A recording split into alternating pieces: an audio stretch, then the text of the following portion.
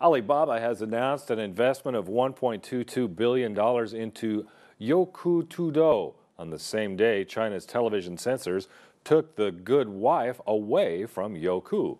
The removal of the good wife caused Youku's stock to slide to its lowest level since last August. Of China's online companies, Alibaba continues to grow its video business. Already China's leader in e commerce, Alibaba has now a stake in the biggest online video provider. The stock exchange statement had Alibaba and Yunfeng Capital, through the joint investment vehicle, will invest an aggregate of approximately $1.22 billion to purchase a number of Class A ordinary shares from the company. Youku will sell 707 million newly issued shares and 13.8 million existing Class A ordinary shares.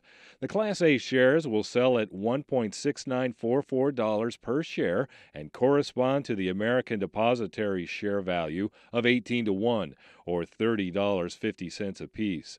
Alibaba and Yunfeng Capital will indirectly hold approximately 16.5% and 2%, respectively, of Youku Tudou. The purchase price is a 26.3% premium as of Monday.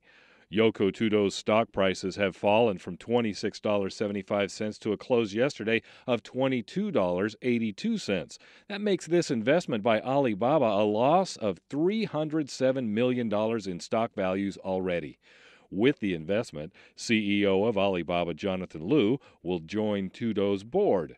Duncan Clark from BDA in Beijing is one of many that are saying Alibaba doesn't want to allow Tencent to gain any advantage in their head to head competition.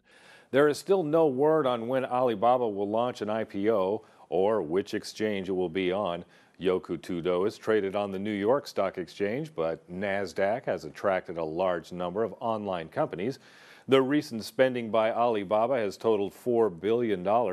Reuters has reported the IPO for Alibaba could raise over $15 billion.